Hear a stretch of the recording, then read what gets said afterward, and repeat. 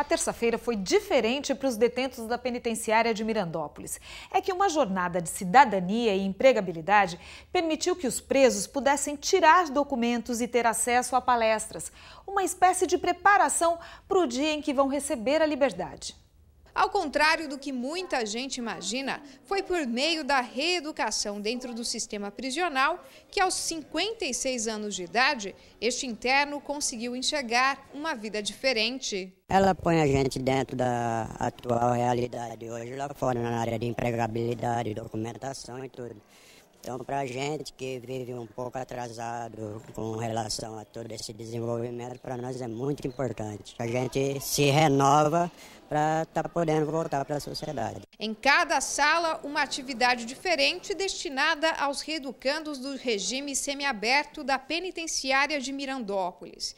Emissão de documentos, atendimento jurídico, serviço de saúde e palestras que visam a reintegração social. O trabalho é desenvolvido nessa parceria da questão da documentação, que eles hoje estão podendo, através da jornada, já iniciarem esse trabalho.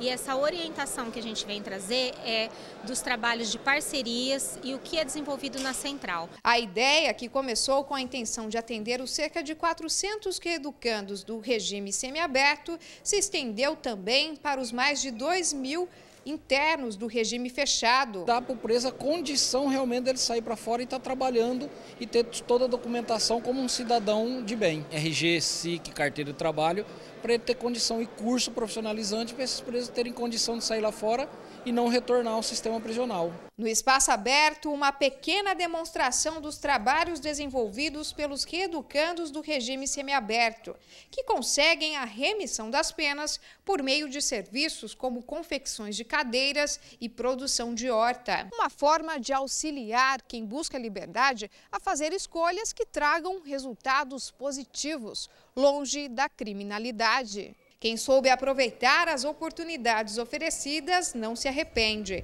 Este reeducando de 48 anos de idade conta que presta serviço como monitor dos cursos profissionalizantes e valoriza cada iniciativa. Muito importante, porque isso além de fazer com que eu me é, reconstrua, é, é, é, me dá me orgulha, né? Fazer, fazer parte disso. É um passaporte para a vida.